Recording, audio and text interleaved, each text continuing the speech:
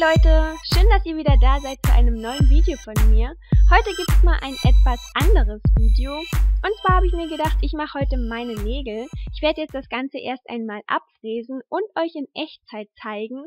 Denn mich hat sowas auch immer interessiert, gerade so, wenn man so die Anfangszeiten hat, habe ich immer gerne alles angeschaut. Ähm, ja, wie geht denn das bei den anderen? Wie sieht es aus? Wie schnell können die das? Das hat mich immer total interessiert und ich habe gedacht, ich mache jetzt einfach auch mal ein Video darüber. Und das Ganze soll natürlich auch nicht zu langweilig werden. Daher habe ich mir gedacht, ich werde einfach mal auf so ein paar Kommentare eingehen, die einfach mal ein bisschen ausführlicher beantworten und ich würde sagen, wir starten jetzt auch mit dem Video. Ich werde euch einfach auch mal oben rechts die Fräse einblenden, mit der ich heute arbeite. Ich habe schon viele verschiedene Fräsen ausprobiert.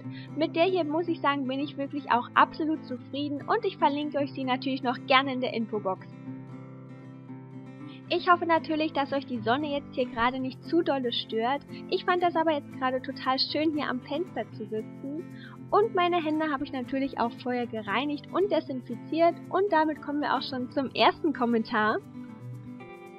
Das erste Kommentar ist noch gar nicht so lange her, das habe ich erst bekommen, allerdings steht das unter einem älteren Video.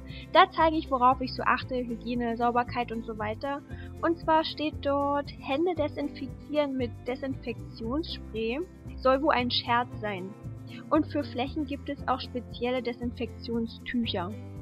Ja, das stimmt. Ich habe auch nicht behauptet, dass das nicht stimmt. Das ganze Video ist natürlich auch eine kleine Zusammenfassung. Man sieht in diesem Video einfach nur Ausschnitte. Also ich habe auch spezielle Desinfektionstücher. Allerdings habe ich einfach in diesem Video gezeigt, wie ich dann einfach die Flächen zum Schluss nochmal mit Desinfektion einsprühe und dann nochmal abwische. Also ich habe jetzt nicht jeden einzelnen Schritt gezeigt und erklärt. Ich habe einfach nur gesagt, worauf ich so achte. Und ähm, ja, desinfizieren und reinigen, das mache ich eh immer. Und das sage ich auch immer immer, dass ich die Hände vorher reinige und desinfiziere. Also ich weiß nicht, wo da jetzt irgendwie was falsch dran ist und vor allem verstehe ich auch nicht, was an Spray falsch sein soll. Also ihr könnt mir auch gerne mal schreiben, wie ihr das macht oder vielleicht habt ihr ja einen ganz anderen Tipp. Also ich muss sagen, ich bin mit Spray immer absolut zufrieden. Ich weiß, es gibt auch Gel und bei Gel muss ich sagen, das vertrage ich dann nicht so gut. Also ich vertrage es schon, aber ähm, meine Nägel halten dann irgendwie schlechter, als wenn ich Spray benutze und daher benutze ich bei mir persönlich lieber Spray. Also schreibt mir gerne mal eure Meinung dazu unten in die Kommentare, von mir aus auch sehr gerne ausführlich. Vielleicht hält der ein oder andere ja auch seine Hände einfach in Chlor, dann ist natürlich alles perfekt gereinigt, dann habt ihr auch fast keine Hände und keine Nägel mehr. Ähm, ja, schreibt mir das einfach mal, wie ihr das so seht und wie ihr das Ganze so anwendet. Dann geht's auch schon weiter mit dem nächsten Kommentar. Das steht auch unter einem älteren Video. Und zwar zeige ich da eine Gel-Fußmodellage. Und da steht drunter schlecht erklärt. Mehr steht da auch gar nicht zu diesem Kommentar. Und dann habe ich natürlich auch gerne zurückgeschrieben und gefragt, was denn daran schlecht erklärt ist. Aber der oder diejenige hat mir natürlich nicht mehr zurückgeschrieben. Das finde ich auch ein bisschen schade, denn somit weiß ich einfach auch gar nicht, was daran gemeint ist. Ist jetzt das komplette Video einfach total scheiße denn ja, kann man das ja auch irgendwie formulieren, auch nett formulieren. Ähm, und ansonsten kann man natürlich auch gerne schreiben, was man da genau meint, weil sonst weiß ich das einfach nicht. Und natürlich kann man das auch sonst nicht verbessern. Und jetzt bitte nicht wundern, das Video stoppt jetzt gleich mal ganz kurz, geht aber gleich weiter. Und zwar ist da gerade die Post gekommen, natürlich sehr ungünstig und ich bin natürlich dann zur Tür gesprungen, habe die Kamera aber natürlich auch noch schnell ausgemacht und dann geht es auch schon weiter. Dann habe ich unter einem, naja, das ist noch nicht ganz so alt, das Video, ist eigentlich noch relativ neu, sage ich jetzt mal. Ähm, da steht drunter, du hast dir die Seitenlinien total verhunden. Dazu muss ich sagen, habe ich auch schon mehrmals gesagt, ähm, ich übe noch mit der Kameraeinstellung. Also da gibt es einfach auch so viele Blickwinkel und Sachen, die man auch bei den Kameras einfach beachten muss. Und da übe ich einfach noch und schaue, wie das Ganze so gut aussieht. Und manchmal ist es einfach so, da habe ich dann manchmal einfach ja den Blickwinkel nicht wirklich gut getroffen und dann sieht das manchmal krumm und schief aus und dabei ist es gar nicht krumm und schief.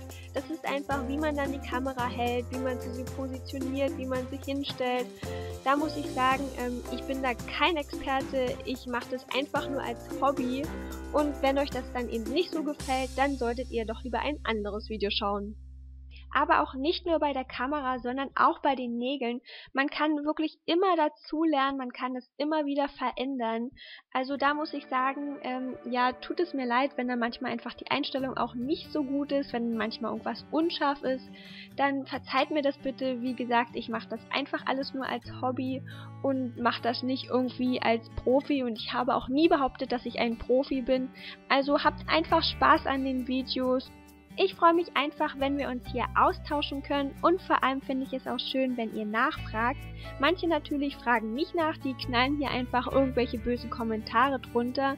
Das finde ich dann immer ein bisschen schade, denn ähm, ja, irgendwie was zu behaupten ist immer so eine Sache. Fragt doch einfach mal nach und dann klären wir das Ganze.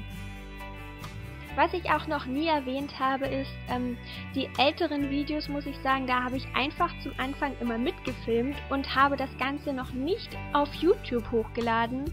Ich habe das dann einfach irgendwann später mal angefangen hochzuladen. Allerdings sind die älteren Videos einfach auch total durcheinander. Und ich muss auch sagen, da habe ich auch immer geübt. Also obwohl ich die Videos schon, denke ich mal, so ein bisschen geschnitten habe und so ein bisschen Effekte mit reingebracht habe, sag ich jetzt mal, habe ich da auch immer noch geübt. Also ich habe da noch nicht irgendwie was profihaft gemacht, jetzt auch nicht profihaft, wie gesagt. Ähm, ich habe dort einfach geübt, ich habe das einfach schon mitgefilmt und habe das dann irgendwann mal auf YouTube hochgeladen. Das Ganze ist wie gesagt einfach ein bisschen durcheinander irgendwie. Ähm, ich möchte das allerdings auch nicht löschen, weil das für mich einfach so eine kleine Erinnerung ist, wie ich denn mal angefangen habe, wie das Ganze so zum Anfang aussah. Und ähm, ja, wenn ihr diese Videos schaut, dann fragt doch einfach nach Nehmt das Ganze hier auch nicht zu ernst. Lasst uns einfach hier Spaß haben. Wir können uns gegenseitig austauschen, Tipps geben. Ich möchte einfach, dass das hier Spaß und Freude bereitet und nicht, dass man hier irgendwie böse Kommentare drunter knallt. Wie gesagt, dann fragt einfach nach. Ich weiß, dass es zum Anfang, wie gesagt, einfach ziemlich durcheinander wirkt oder auch ist, was ihr nicht wissen könnt. Und ähm, ja, das ist eigentlich ein Fehler von mir, aber wie gesagt, ich erzähle euch das ja jetzt. Das ist einfach für mich so eine kleine Erinnerung und so wie ich damals die Nägel gemacht habe, würde ich sie jetzt absolut auch nicht mehr machen. Aber wie gesagt, es ist für mich eine Erinnerung und da kommen wir auch gleich zum nächsten Punkt und zwar möchte ich mich auch nicht nur aufs Nägelmachen beschränken, das habt ihr aber sicherlich auch schon mitbekommen. Ich habe einfach an so vielen Sachen Spaß und Freude und das möchte ich einfach mit euch teilen und ich hoffe natürlich, ihr habt dann auch Spaß daran. Wie gesagt, ich möchte nicht nur mich auf eine Sache beschränken, denn es gibt so viele tolle, bunte, schöne Sachen auf dieser Welt und das Ganze macht mir einfach total viel Spaß, mich da auch so auszuprobieren und das bin einfach ich. Ich mache nicht jeden Tag dasselbe, ich ähm, probiere auch gerne irgendwas Neues aus, ich bin für alles offen okay, nicht für alles alles, aber ähm, ja, für so kreative Sachen bin ich einfach total offen. Und ich möchte einfach, dass wir hier total viel Spaß haben, uns wie gesagt austauschen und wir einfach zusammenwachsen und eine tolle Community werden.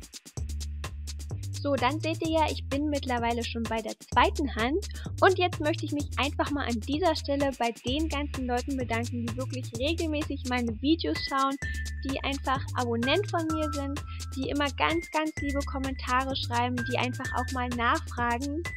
Ich freue mich da so sehr, eure Kommentare lesen zu können. Also das ist wirklich immer so, so schön, wie lieb ihr da auch immer schreibt oder wenn ihr eben so Fragen habt, jetzt auch nicht nur speziell zum Nägel machen, sondern auch sonst irgendwie Fragen habt oder mir auch mal Tipps gebt.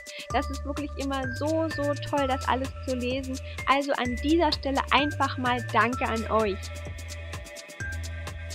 Ja, und ihr seht, mit Links bin ich auch nicht wirklich schnell. Ähm, ich bin mit Links auch immer sehr, sehr vorsichtig, weil ich habe hier nicht so viel Gefühl. Ähm, ich bin nun mal kein Linkshändler und ähm, bin da einfach lieber vorsichtig, bevor ich irgendwie zu tief feile. Das rate ich euch auch. Macht es lieber vorsichtig, denn so kann dann eben nichts schief gehen. Dann möchte ich noch erwähnen, dass es jetzt öfters Verlosungen geben wird. Ich habe auch noch so viele Videoideen. Allerdings ist das immer so eine Sache mit der Zeit. Man geht ja auch noch arbeiten, man ist mal unterwegs und dann auch noch die ganzen Videos zu bearbeiten. Da ist manchmal die Zeit ähm, ja ziemlich knapp, aber wie gesagt, die Verlosungen kommen jetzt öfter. Schreibt mir natürlich auch gerne, wenn ihr Videowünsche habt. Am besten immer unter das neueste Video, muss allerdings auch nicht sein, je nachdem wie ihr das möchtet.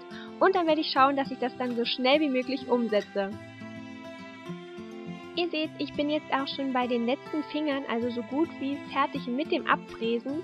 Danach werde ich weitermachen und die Nägel befeilen bzw. kürzen. Und danach geht es auch schon weiter. Ich zeige euch dann, was ich drauf mache, beziehungsweise ich mache eigentlich nicht wirklich viel drauf, denn aus einem bestimmten Grund bzw. zu einem bestimmten Anlass ähm, brauche ich oder darf ich nicht wirklich was auf den Nägeln haben. Und daher wird das Ganze relativ durchsichtig werden. Ich werde nicht wirklich viel drauf machen, einfach nur so, dass dass meine Nägel stabil sind, nicht brechen. Und ähm, ja, das Ergebnis seht ihr einfach am Ende. Das lasse ich allerdings im Schnelldurchlauf durchlaufen, damit das Ganze hier nicht zu lang wird.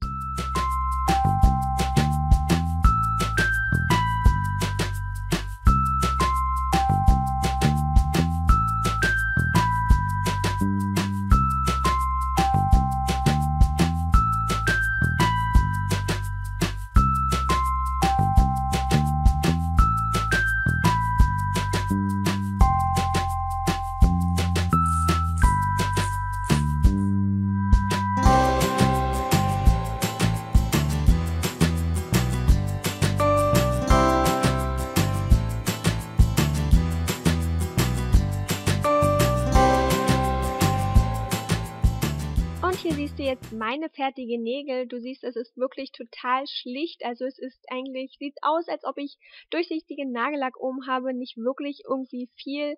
Wie gesagt, das ist einfach für einen bestimmten Anlass und da ähm, soll das einfach auch so aussehen. Also das muss so sein, falls wieder jemand irgendwie böse Kommentare schreibt. Das Ganze soll hier so aussehen. Und ich würde sagen, ich wünsche euch allen jetzt noch einen wunderschönen Tag und vergesst mich nicht kostenlos zu abonnieren, um keine weiteren Videos zu verpassen. Und dann sehen wir uns im nächsten Video. Bis bald. Ciao!